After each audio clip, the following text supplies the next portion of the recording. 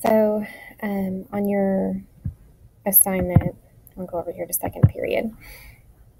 Uh, for number 32, we're going to see a doc from yesterday, which has the chart. And then today we're also going to be clicking on the image instructions because most of you will be ready for column C soon.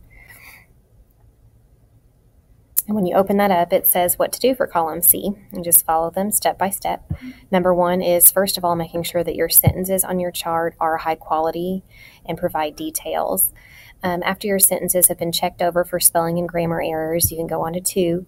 For column C, you're going to be drawing the achievements um, in the place of your choice. We'll talk about that in a second. But you want your drawings to be high quality.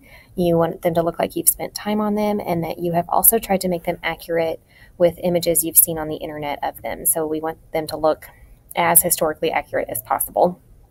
Step number three, after we draw each of the achievements, we're going to copy and paste them over to column C and make them fit in that little box, which means, yes, they'll be kind of small, but we can make them bigger later when we need to.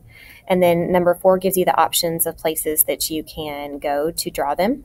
So you can either search for Google Drawings on your Chromebook to use that, or I've got a link here that may take you, it may work, may not, we'll try it. Um, you also can try these three websites Sketchpad, Voxel Builder, and Draw Island. I've got them linked here for you. You just click on them.